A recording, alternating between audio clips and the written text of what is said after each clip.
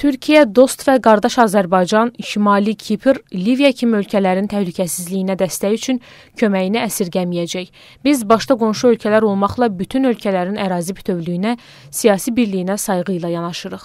Bunu Liviyada səfərdə olan Türkiyənin Müdafiə naziri Hulusi Akar Liviya vəzifə qrup komandirliyində çıxışı zamanı bildirib. Cani, yani katil Hafter ve destekçileri gerçekten bilmelidirler ki Türk unsurlarına yapılacak Türk unsurlarına yapılacak bir saldırıda herhangi bir böyle girişimde katil Hafter unsurları katil Hafter unsurları her yerde meşru hedef olarak görülecektir. Bunu çok iyi kafalarına soksunlar.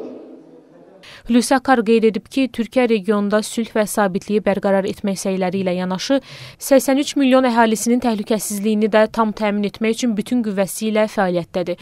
Bunun üçün Türk Silahlı Qüvvələri çox gərgin bir dönəmdən keçir.